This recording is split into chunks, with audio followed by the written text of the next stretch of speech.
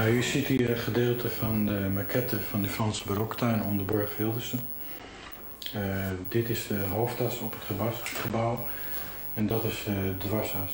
De zijbeelden die zijn al gerealiseerd. En nu ben ik op het ogenblik bezig met de twee figurenbeelden eh, in een vijfgroep te creëren.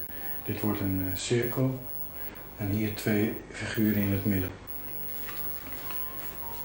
Deze ben ik op het ogenblik mee bezig. Dit is de eerste uit deze serie van vijf twee figuren die ik aan het realiseren ben. Ja, dat is ongeveer 1976, 77 geweest. Mevrouw, ik ging verhuisde hier naar Groningen. En toen kwam mevrouw Klevering mee, die is inmiddels overleden. Die kwam mij bezoeken. Die had die deze tuin in de Borg Verhildesum helemaal gerestaureerd. Zij knokte daar heel hard voor. Zij vroeg toen of ik daar uh, een beeld... Ik begon eerst met één beeld. Altijd een idee gaat eigenlijk van jongs af aan al.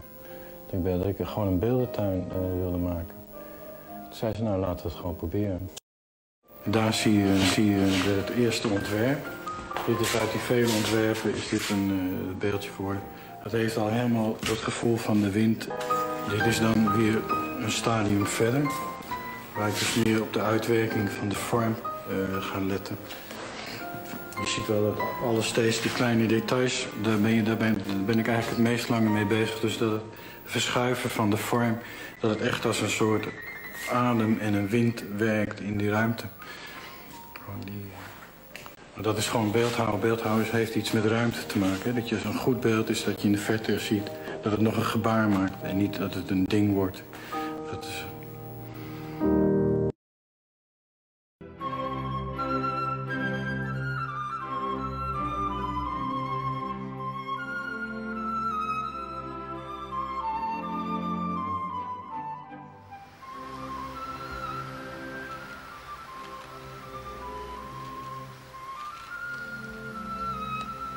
Padre.